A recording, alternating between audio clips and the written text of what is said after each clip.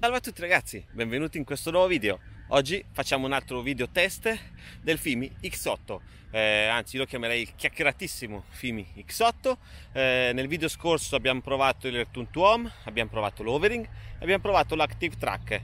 Anzi, per quanto riguarda l'Active Track ho una cosa da dire ragazzi, eh, nel video scorso ho fatto vedere che andando incontro al drone, il drone non indietreggiava invece c'è un'opzione da attivare questo mi è stato segnalato da utenti che ce l'hanno da più tempo di me che eh, praticamente va attivata la funzione retromarcia. A quel punto allora il drone indietreggia anche nell'active track. È stato un errore mio dire che questo drone non faceva bene l'active track invece lo fa. Oggi ragazzi invece facciamo un eh, cinematic video eh, in una location eh, carina ma non bellissima. Qua l'avevo fatto anche con l'autolivo magari ve lo lascio sopra nelle schede il video così magari fate un confronto della location filmata con l'autolivo o filmata con il film X8 perché comunque una delle cose che interessa di più a chi acquista questo drone ovviamente è la fotocamera.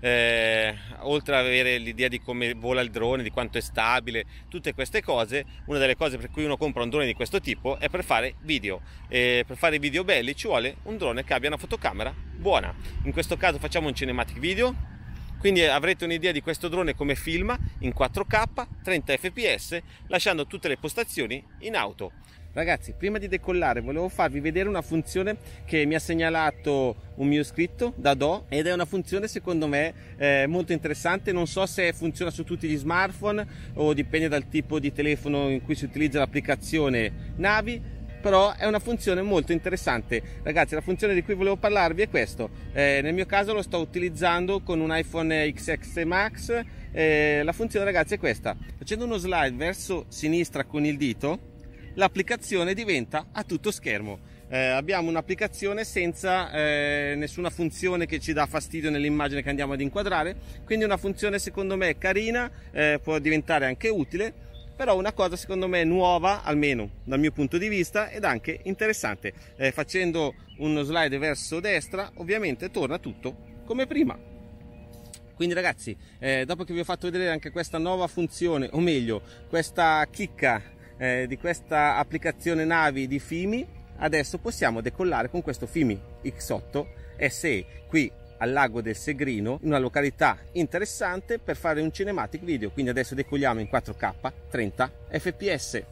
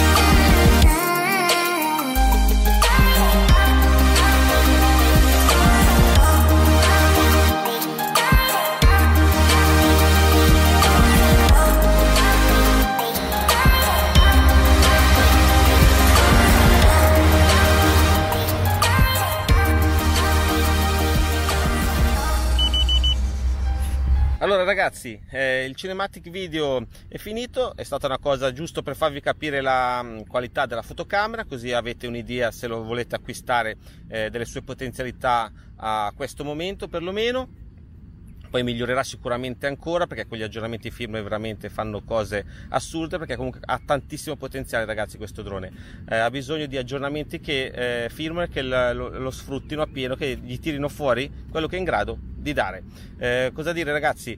Eh, mi sono successe due cose strane. Una i satelliti che eh, passano da 17 a 12 in un attimo ed è una cosa stranissima ok? Che da 17 passi a 16 da 16 passi a 15 cioè ma non che da 17 passi a 12, da 12 torni a 16, cioè un po' strana, probabilmente anche questa è una cosa da aggiornare eh, con i firmware. E un'altra cosa ragazzi, ci vuole una scheda SD veramente veloce perché io in questo ho montato una Samsung Evo che è la stessa che eh, avevo dentro nel Mavic Air e là non ho mai avuto problemi. Qua eh, registrando in 4K a 30 fps quindi come il Mavic Air. Eh, qua ragazzi quando fa cose strane, cioè tipo l'orbit, quando gli ho fatto fare la funzione orbit o quando ha fatto qualcos'altro, adesso non mi ricordo, quando sono sceso veloce forse, adesso non ricordo, eh, viene fuori un avviso che la SD non è abbastanza veloce e interrompe la registrazione. Quindi ragazzi se acquistate questo film X8 acquistate anche una SD velocissima, vi consiglio una SanDisk Pro che è quella che uso anche nell'Autelivo che registra addirittura in 4K 60 fps l'Autelivo e non c'è nessunissimo problema.